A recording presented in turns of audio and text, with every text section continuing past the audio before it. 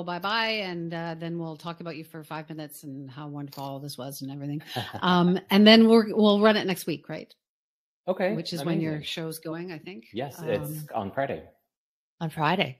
Yeah. Ooh, it- like Friday Friday? next? Where are we? This Friday. Okay, so it'll be Friday. all right. Ooh, No worries. Okay, it'll be running concurrently. All right. Are we are we ready, Wendy? We're ready. Um, sure. Okay, so stand by. Ugh. Uh, I hope I don't lose my uh, my fabulous headphones. Okay, here we go. Wendy, Yeah. in her book, I'm Afraid of Men, Vivek Uh-oh. Shraya, who is Yeah. a queer transgendered woman of color and a renowned artist and musician and writer, she writes, What if you were to challenge yourself every time you feel afraid of me and all of us who are pushing against gendered expectations and restrictions?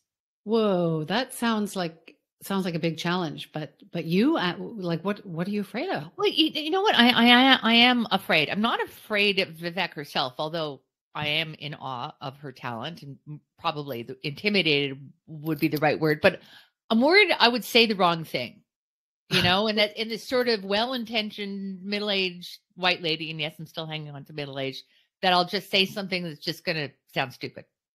Well, I'm middle aged too. Um, what does that what does that mean? 120. so what? Like say it say it now. Like what's the worst thing you could say? Like go, yeah, go yeah. And then what's the worst thing you could say? I don't know. I've said some stupid things in my life. Like ask my kids. I say something stupid every day, but it's mostly about making assumptions um, that some people might find offensive, you know? Yeah. Well, tell me race, about it. Color, Um, gender, and all those things. Yeah, don't don't ask my daughter because I'm I think everybody's done this, but you know, Vivek, she's dealt with that all her life. Um, it's what she means when she says, "Let's challenge ourselves." Oh, and, and it's not like she's not approachable. How to Fail as a Pop Star is her latest show. It's a TV Yeah. series uh, based on her live stage show, and she calls it an anti success story. Uh, growing up a nerdy little brown boy in Edmonton, dreaming of becoming a pop star on the scale of Madonna. Yeah, well, I would like to be Madonna too, but but guess what? Um, it didn't happen for Vivek, um, or at least she didn't become Madonna the way that she, that she thought she might. Well, being a pop star is a, a very time specific goal. Like, I hate to tell you, it's too late for us. No, Um, no, no. look, yes. we can do it. No, you got to accept that, you know your limitations. And there were a lot of obstacles in Vivek's way, like like starting out as a nerdy little brown boy from Edmonton. Yeah, well, we can talk about Edmonton, we can talk about Madonna, but I mean, the main thing is is in the title, "How to Fail as a Pop Star." So Vivek says we don't acknowledge failure properly. We always uh, we talk about success all the time, but we rarely talk about the risks and challenges of finding that. It's better to have loved in vain, loved and lost, than never to have loved at all. I don't know. That's Wow. that's what they say. Um, That's anyway, what let's said. But in any case, here's Vivek sitting here listening to us talk about her. Have uh how are we doing so far? Uh-oh. You're doing very good. that was really nice. That was a like uh, probably the most creative and slightly most like out of body intro I've ever had. So thank you. out of body. Oh dear. Where does Yeah, we're so glad that you were. I mean, you must be busy. You've got your the, the show How to Fail as a Pop Star. It goes on. It goes this. It goes well. We're going to air this yeah, uh, next now. week. It's gonna. It's like it's airing now. It's it's kind of like a, a big deal. And I don't know how to fail. Like who's going to watch that? And yet. As as Maureen says, it's about the challenge of failing. It's uh, I, I don't know. It's a brand new way of looking at failing. Let's talk more about that. What is it? So, what does that mean to fail? Because you sure as hell don't strike anybody as a failure. So let's let's let's talk Oh. about that. Well, I mean, the show. First of all, thanks so much for having me. Uh, this is really nice, and yeah, thanks for making time for me. Um, yeah, I mean, it's an interesting time because when I go on social media, like literally all every post of mine just has like the giant word "fail" like everywhere, and so I have to do a lot of like internal work to remind myself we're talking about something very specific. You're not a failure as a human, but you're talking about being a failure as a pop star, which is true. You did fail at becoming a pop star. And that's the point of the show. So, um, yeah, I don't know. But you do it with song, and it, you entertain as so. Really, the, um, I mean, I understand what you mean about not being afraid to embrace failure because you have to. you're never going to do anything if you don't. But you are. uh, I mean, you're not a pop star on the level of Lady Gaga or Madonna, but you are a pop star. Oh, yeah. I mean, thank you. I don't know what else to say to that. Well, you could sing. Why don't you sing? That would be uh, that would be good. No, it's I should stay. I would only be in. Oh, that's nice. Well, you told me to sing, so what am I Yeah, going to do? and you did, and you did. Wait, Um, is that one of the songs that you sang at the West Edmonton Mall? Because I'm fascinated by that. We've heard so many stories, but I never realized that they had a talent show. So that was like your big breakthrough. I think like Madonna got her breakthrough starting at a Well, mall, didn't she? Brittany, Avril, there's like a bunch of stars where they started in the mall. Yeah, we had something called Youth Talent Quest, and it would start out in the smaller malls. And then eventually, if you made it to the semifinals, you'd get to play at West Edmonton Mall, the pinnacle. And then our equivalent, are you all from, are you Ontario based, Toronto based?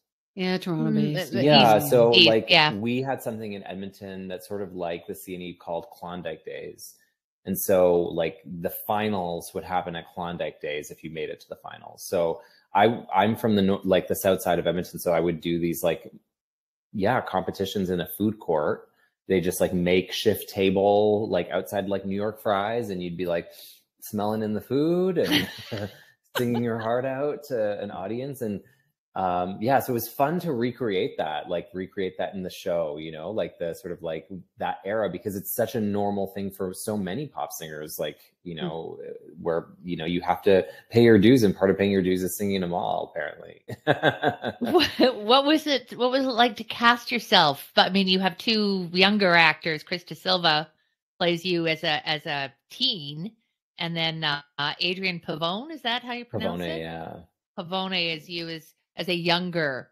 uh, person. So I mean, that's got to be weird.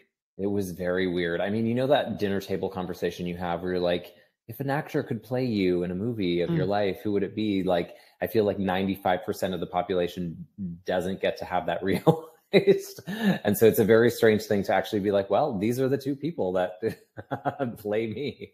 Were you part of Um, the casting process? I was, I was, I was very lucky that because the story is based on my life, uh, the producers at Sphere and Vanessa Matsui, who directed um, the show, the shows, really wanted me to be part of like every phase and stage of the project. So I remember just like watching audition tapes and my partner coming home and being like, "What are you doing right now?" And I'm like, "I'm. This is potentially me."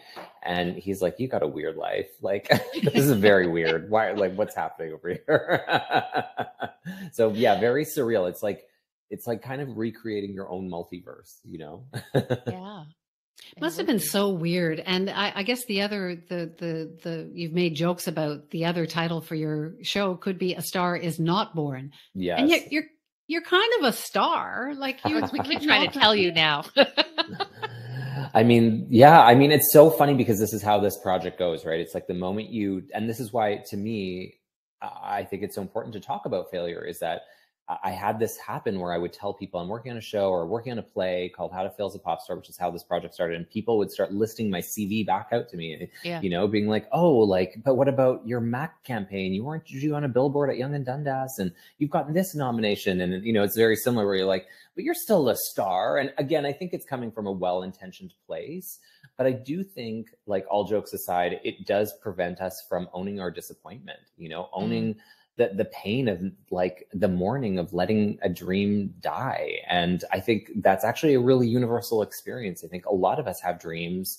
Like, you know, I, I don't know what your dreams were, but I don't know that it was sitting and chatting to me via the internet. That, you know, kind of. this was it. This was I Kind don't, of. know, I don't know. I don't, I don't believe you. but there, but there are other things. I remember talking to the the um, then CEO of a very big company and uh, asking him if he hadn't ended up doing this, what would he have liked to have been? And he said a hairstylist. Mm. but he was sincere. He was like that, and that opportunity was never there for him. He was Right. destined to do what he had to do, but for a lot of reasons. And so it's not that he's not a successful person. It's just that that aspect of his life never got to be nurtured. I know it sounds kind of funny and adorable, but he was sincere. No, but like that's the thing is we all have these dreams, and again, we end up where we end up in life, you know, for various reasons. Some of it's systemic, some of it's outside of our control, some of it's just circumstance and you know i think there is a lot of pressure to own that to be like well my you know i'm happy. Things worked out this way or if i didn't mm-hmm. open this door or if this door door didn't close in my face then i wouldn't have had this and this and this opportunity. Like we're so quick to do that kind of work and for me the show and the project is really about like pushing against that a little bit. Like what does it mean actually to tell you know, as I've been saying, an anti-success story, you know, especially in a culture that's so obsessed with us at all times being like, look at me, I'm doing this, look at me, I have a podcast, look at me. I, you know, you know, it's like, who are we when we're not just listing out our accomplishments? And I think sometimes what we don't get to be is our disappointments, are the rejections that we experience. Like we're, we're not allowed to hold space for that, you know?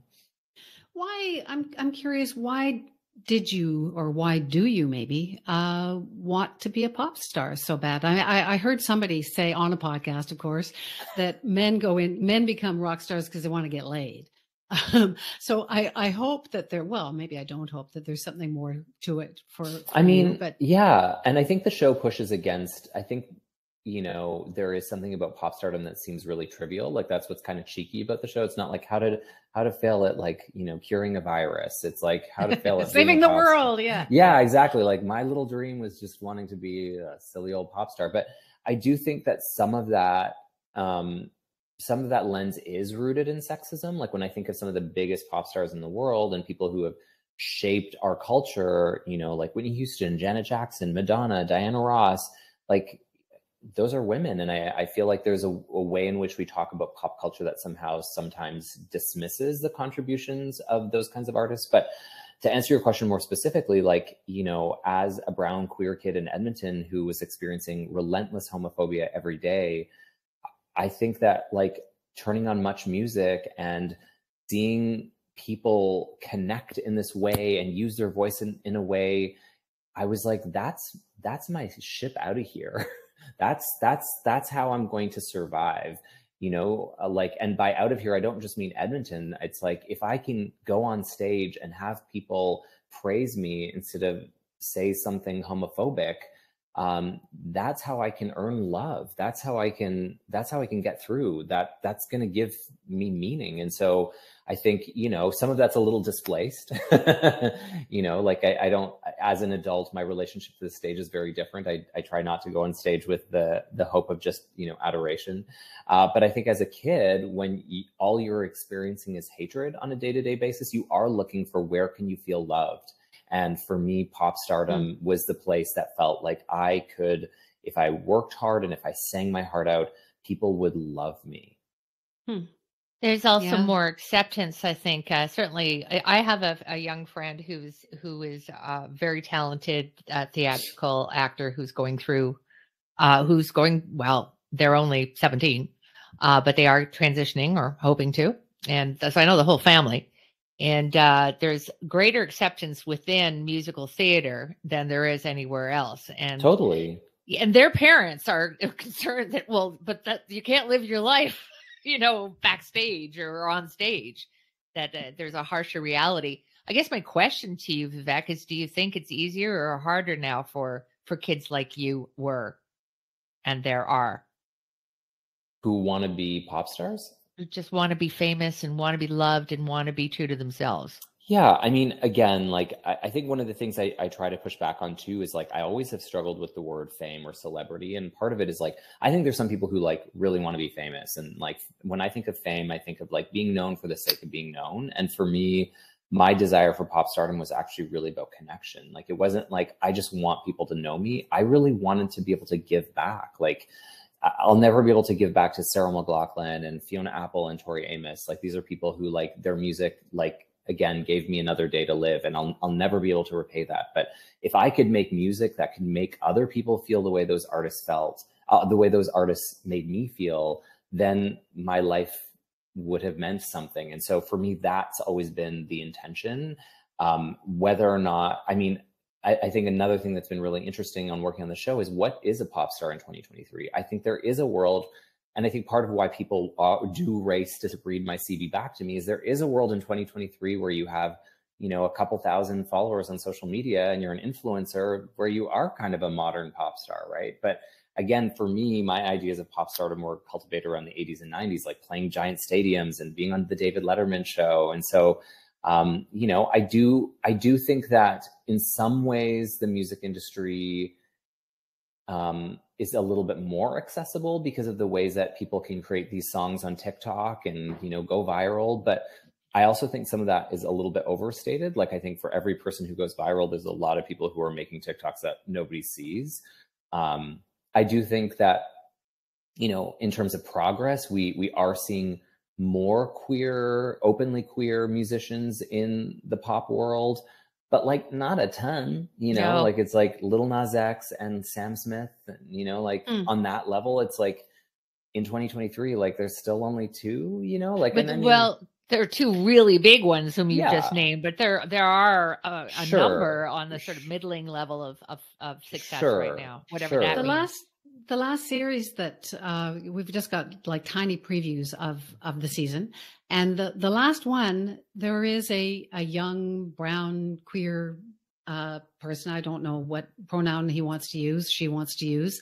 Um but it's almost like you're jealous watching it because you didn't have those opportunities. And i'm and i just i find that really interesting. So are things getting better? I mean that's what you're talking about and better but not really very different I mean, I do think that for me, when one of the things, you know, when I worked on the stage play for How to Fail as a Pop Star, one of the things that came up from the director was like, well, if you were going to guess why you failed or how you failed, what what would be the reason? So I had like this homework that I had to create. So I actually created hmm. a list 40 reasons of why I think I failed. And, and in the show, we hint at it. There's like post-it notes in the last episode of things that Vivek yeah has written. yeah i saw that and it was all about being a brown queer boy or Yeah, or like uh, I don't have abs, I don't have leather pants, I don't, you know, like. But the first thing that I wrote was I, I I think the first thing I said was I was born in Edmonton, and then the second thing I wrote was I was born in 1981, and I do think.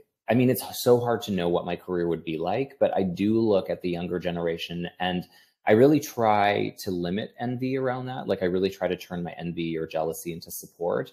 But it, it is hard not to sometimes look at, you know, artists who are coming up 10 years like later for me or 20 years later for me and be like, whoa, like the things that you, the world you get to live in, the, the way that you can access language, even talking about your queerness, your identity, like this conversation we're having right now, like the ways that we've like already mentioned pronouns and all this stuff, just like in passing, we're not even talking about Yeah. that. This conversation could not have existed in 1998, you know, No. like in the same way. And so it's hard sometimes not to be like, it's less about envy and jealousy of like younger artists, but more like, man, like, and I even say this in, in episode eight, right? It's like, I wonder what it would be like if I was starting my career now. Like, I'll, I'll never get to have that experience. And so it is something that haunts me, you know, like, and these are the things you can't control. Like, I can't go back in time and I, I you know, it is, it, it is what it is. But I even remember in 2003, when I put out my first album, like, there was such a pressure to perform a certain kind of masculinity. You know, that was around the time that Justin Timberlake had just come out solo and, you know, you still had to like carry yourself a certain way. And I was like, it's dance music, it's pop music. Like, who cares? Like, I don't know what we're hiding here, but like there was still like I remember just, you know, this pressure to perform a certain way. So Mhm. anyways, I, I do think a lot about like time and and and the things that I didn't get to have.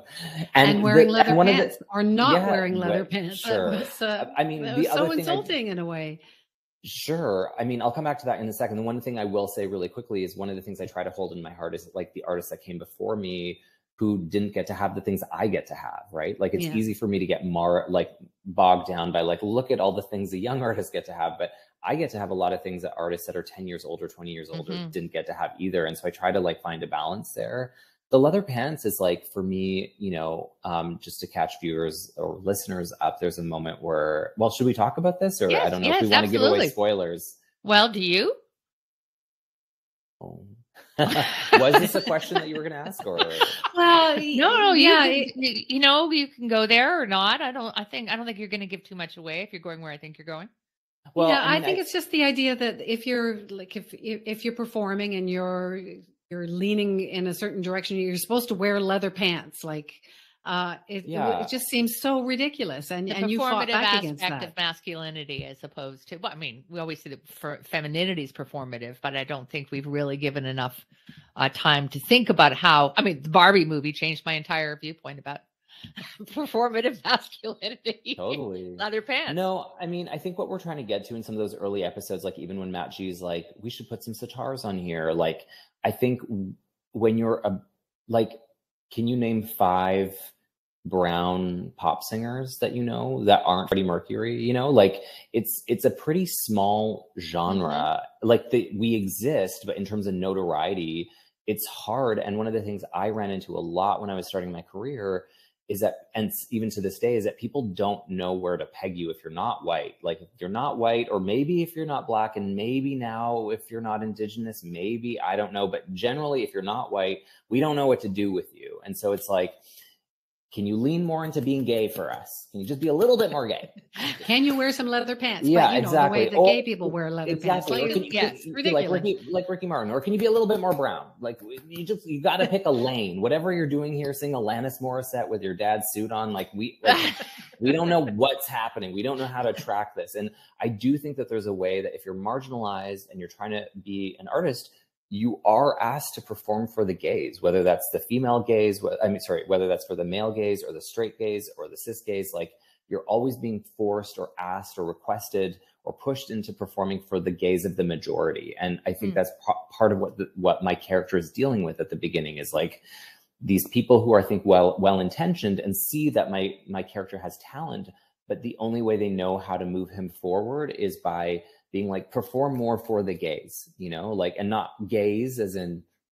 g-a-y-s but like the gays you know Yeah, the gays that if they were see. like perform more for the gays i think my career would have been a lot better but that's not what they were asking Um, so you've got long blonde hair. Uh, you're very sexy.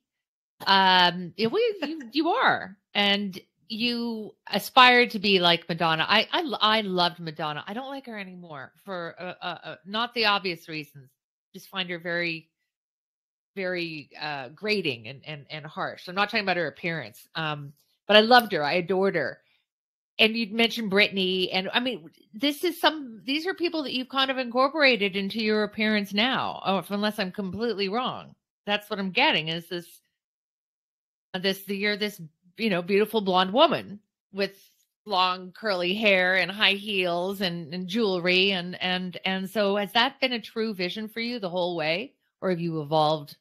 You know, As I've we all have. It's been interesting. Like the blonde hair, I think was like tricky when I first started because, I, like, I started dyeing my hair blonde in my early twenties, and I do think that there was something about like wanting to assimilate. I found that especially like at the gay bar in Edmonton, like if I had blonde hair and if I was wearing my blue contacts, like people noticed me, they looked at me in a different way. You know, Mm. gay culture in a lot of ways is still actually racist. We don't talk about this enough Mm. because you assume that if you're a marginalized community, you don't marginalize others. But some of the places I've experienced the most racism has been in the gay community. And so I do think in my early years, like in my 20s, I think there was part of what drew me to blonde hair was a certain kind of assimilation. But in my 40s, I think, and my 30s, like I've been blonde now, I think for five years. Um, it really isn't about being white. Like part of it for me is like, well, there's a lot of ways to be brown in the world. You know, like who Mm. says that white people get to like the like ownership on blonde hair, right? Like who says that this has to be just for blonde people, uh, for for white people? And part of it's like it just feels like who I am. Like you know, even my hairstylist is like, "Do you ever think you're going to go dark?" And I'm like, "I don't think so." And he's like, "Yeah, you're blonde, aren't you?" You're I'm like, blonde. "Yes, I'm." You know, I need to add this to my bio instead of like queer, trans, POC. Just be like blonde, Blonde. just just blonde, just Blonde. blonde. So is- yeah, I mean, it's a good is- question. Is is Madonna a blonde? Like, what is she now? Like, I, I, Right now I am she's a not a, fan. Of, well, let's not talk about her appearance, but, but I do find That's not and, what. It, and that's it- not what I don't. That's not. I know a lot of people have given her a hard time, and she has every right to do whatever she wants with the way she looks. I just, I find her cold. That's what it is. I find her cold, I mean, and I think the vibe I get off her. this is what I think the problem is is we have no more mystery. Like I think Mm. that sh- we we're just never exposed to people in the same way that we were now. Like I, I you know, to see an artist, I remember I used to have to like stay up or like put the timer on my VHS to see them perform on David Letterman and maybe they'd get an interview. And then maybe I, I would read a magazine where they're on the cover of Rolling Stone, but that was the only way we could access artists. And it was kind of beautiful because there was this mystery, there was this mm. enigma. I mean, it also meant a lot of male artists get to like do a lot of shitty things. Oh, sorry, bad things that went. Um, we don't care. Go for it. but I think the problem with the world that, that, we live in now is that people are overexposed. So we see artists in ways that we've never seen before. And I'm like, you know, to use Madonna as an example, is like, is she that way now or she always been, but we just never saw it as much, right? Like, yeah. I think like there's so much pressure to be on social media and content, content, content. What are you doing mm-hmm. now? What are you doing now? And it's like, I, again, I miss the days of not knowing. I don't want to know what my artist thinks. I don't want to know what they're cooking for breakfast. Like, I, I just, want to line up outside of HMV, buy the album, and like get into it and make it my own. I want to have See, my own relationship. That's so interesting because it seems to be uh, a dichotomy because you connect with your fans and they are your for your audience, your followers, your readers, your students because you teach uh, creative writing um, in Calgary. Do you not? I do. University of Alberta. So I mean, it's all about connection, and yet it's interesting that you should say that as a fan, you actually don't want to connect beyond the art, the the music or beyond I mean, the artistry? I feel a lot of pressure. So if I'm going to be honest, like if I could be the kind of artist that those artists were in the 90s, like I do think that there was something about it that's very privileged, right? Like I'm I'm just going to show up when I show up and do my thing. Like I just don't think young artists or, or even artists that are not young get to have that freedom. Like I think that there is a pressure at all time for any artist in 2023. And this is where I actually do feel really sympathetic to younger artists because when I was a teenager, like I didn't have everything captured on the internet and I didn't feel pressure to capture everything on the internet. And there's so much pressure at all times to be doing that. And uh, if I could have my way and if I you know wasn't promoting a tv show. Um you know I, I, I you know and i even try to find a balance. Like for me when i go into instagram like i try not to have it on my phone um, I try to like, I treat it like Hunger Games. I go in, I post something, I try to like a couple other people's thing because I believe in a reciprocal environment, and then I get out of there. Same with Twitter, like see a couple things, get out. Like I, I try to minimize how much I do. I still haven't done TikTok, even though people are like, you need to be on TikTok. I'm like, do I need to be on TikTok? So it, it, it sounds like a contradiction, but it's like, again, that's, that's what I miss. And that's the artist I wish I could be. Um, but unfortunately, like if you don't have big ad dollars, one of the mm, best yeah. ways to get people to hear about you and connect about you is is social media, and that's why we all sold our souls to it, right? I'm curious. Testify. You, you, this is we know exactly what you're talking about, right? I don't. We don't. Yeah, we're trying to build up our social media presence at the moment, and it's uh it's a challenge, which uh, you you you talk about. But I'm curious of who you think your audience is. Like I, I read that you you said that there's two audiences. There's I, am kind of tired, I think you said, of, of, of, feeling like I have to teach people about what it's like to be a brown person or what it's like to be a trans person or, or whatever. So, I, but I do think that people need to learn. So are you talking to those people, which are probably a larger group, or are you talking to a smaller group of people who are, who see the world the way that, that you see the world? Converted? I mean, again, as an artist, my hope is that my art reaches many people. I think one of the things I put out a book, I mean, that you referenced, I'm Afraid of Men, um, in 2018, and it really sh- changed or confirmed my perspective because one of the things I've heard my whole life is that as a trans artist or queer artist or brown artist, that like my work is niche, right? That the only people who can understand me or relate to me or want me are a certain small demographic, which I've always pushed against because I'm like, well, if I have no problem rocking up to Sheryl Crow in my bedroom as a white kid. Mm-hmm. Like, I, I don't get why, you know, white people can't or cis people or queer uh, straight people can't like read my work or listen to my music and not make a connection. I'm Afraid of Men was a national bestseller for like, you know, I think like two or three months in Canada. It was like the Indigo staff pick. And it was really affirming because I'm like, oh, actually, if there's a lot of infrastructure if there's a lot of marketing, if it's pushed by a giant publisher like Penguin Random House, then actually so-called niche work has the opportunity to reach a lot more people. And part of what I haven't had is that infrastructure, right? So um, I'm, I'm realizing here that I'm not answering your question, but in terms of like demographics, I, I really hope that my work reaches a lot of people. I really want to push against the idea that it's limited. At the same time, I think internally the choices that I'm making are different. So in my 30s especially i found i did feel like i needed to like bring people on my side by doing some educational work through my work. And so in some ways my work was for the gays. And part of it's also being smart about who your audience is in canada right? Like the reality is like who are book buyers in canada? Who are music listeners?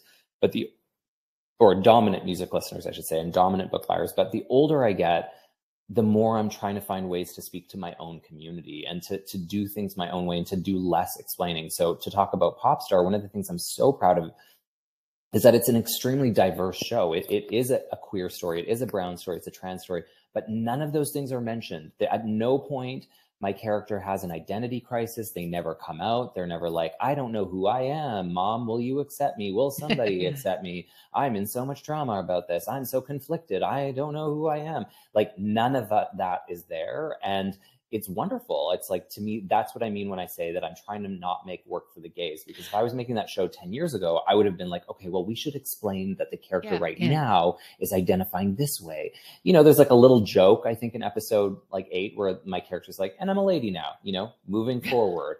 But it's meant as a joke. It's not meant to be like, and it's and life. It's it's just exactly, life. That's exactly. That's what exactly. I really appreciate. Is that exactly exactly funny about people lady. don't feel they have to talk about how I like to I like to have sex with men or I like to have sex with like who cares? Exactly. Yeah. Well, exactly. who cares? Well, I mean, well, but that's the thing is that's what people different expect. interests, but but yeah. that's what people want from us right? Like unfortunately that is what we've been told is like when you're trans we want to hear about your transition. We want to hear about how your parents didn't accept you. We want to hear about your body. If you're queer we yeah. want to know how like you know like that's the thing. And so it's like for me what's great about pop stars is like none of those things. That's not what the show about. It's just actually kind of a classic music biopic turned upside down. It's just about a, a, a, like a small town boy who has big dreams. It yeah. just doesn't work out. You know, be played by Barbra Streisand. Exactly. Then maybe not now. she's got a she's got a big bio coming out. I, I want to just point out something funny that I, we were talking about this weekend. That the word "lady" is now something you call someone when you're when you're annoyed.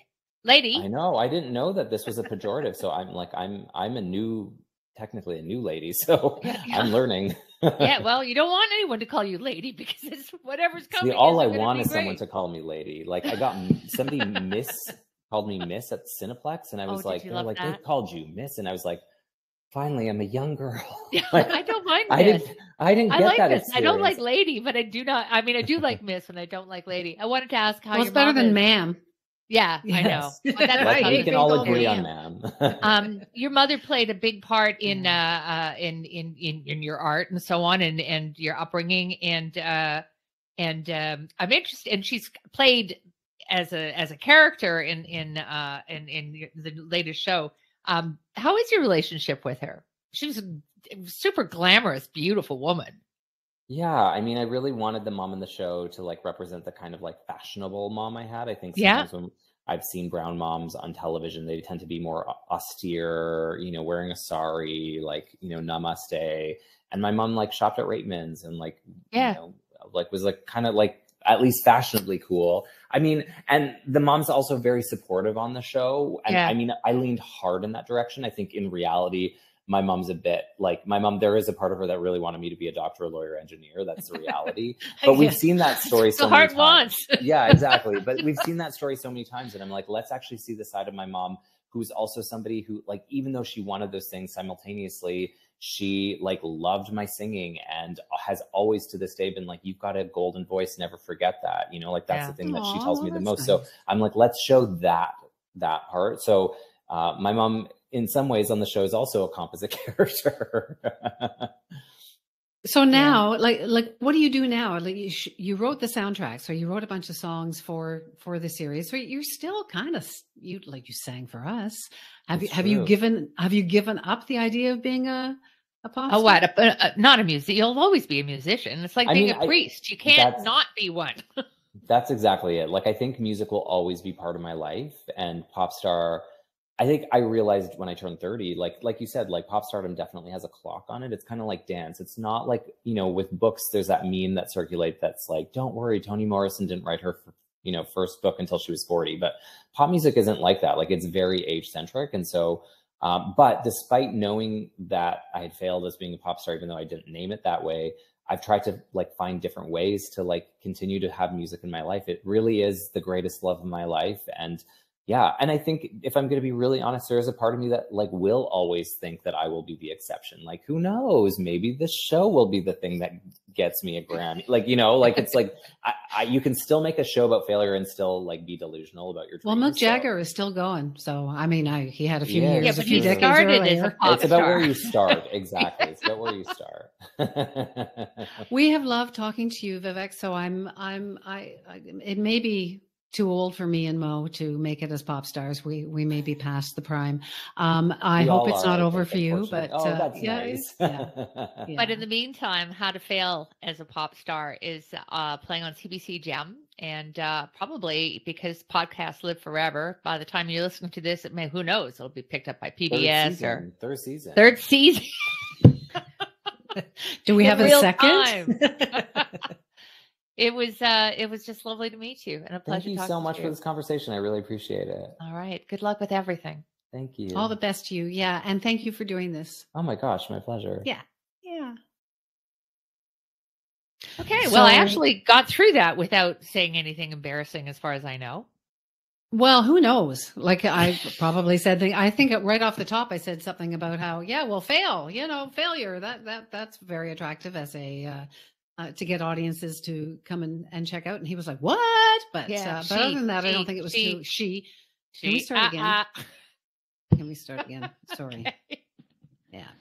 There we go. Just a sec. I I will. Uh. Uh. Okay. I'm gonna start this again. I'm stopping. Starting. Well, I, for one, managed to get through that. I think without saying something stupid. Maybe I did. Who knows?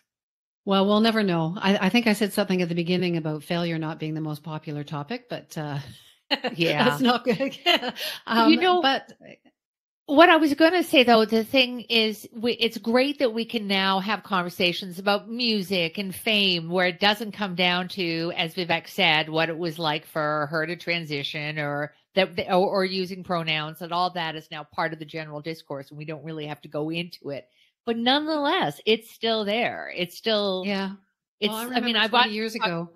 sorry, Katie. Couric. Yeah. I remember 20 years ago, Katie Couric, uh, who's a, a journalist. She's of our vintage, maybe even a little bit older. And she, her, an interview with somebody about being gay. Oh my God. Oh my God. So what is it? Tell me exactly what has happened with your surgeries and, and, and I think it was a real turning point for people to say, no, who cares? Like, who Yeah. cares about that stuff? Like, maybe your best friend wants to tell you about some horrible thing that they went through at a doctor's office, but that's not what it's about. That's it's Mhm. about we're all people and we all just want to express ourselves. And uh, yeah, so things have changed a lot. Well, they have changed, but they haven't changed entirely. I did want to bring up Bilal Baig, who is the creator and star of Sort of. Yeah. Uh, uh, and has so, and in fact, Vivek was a consultant, a musical consultant on the show. Um, Another and- CBC show, which is uh, it's great actually. Yeah. yeah, yeah. But Bilal, you know, very much is uh talk doesn't talk but acts and tells the story of of uh, a person who doesn't fit into any category who is a brown person who dresses as a woman um and uh I, I thought that was interesting that that we didn't go there as a matter of fact because it's i think the whole point is that this should not be the center of the conversation it's an interesting aspect of it but not the only topic if you know yeah, and. Vivek's thing is that you know if 20 years ago, if if I'd been starting out, would it have been different? And I and I think you know we Well, talked a lot about Madonna. yeah Uh, Madonna, you know, people made fun of her because she was a woman who was trying to be a rock star. And, Yeah. and I think that she's super or was super talented, but she wasn't treated that way. And Vivek's argument is like, okay, well, things are now changing for for other people too. And uh, yeah, but not quickly. they Not are and they everybody. aren't you know for us we're all like we're all it's like preaching to the choir choir we're all allies we're all on board we're all you know accepting why wouldn't we be but you know i'm, I'm i can assure you we're, we're not the majority not yet anyway on that cheery note Uh, so will you say something stupid? Oh i'm sure something i'm sure I'm, I'm, I'm probably 10 out of 10 just for this episode on to the next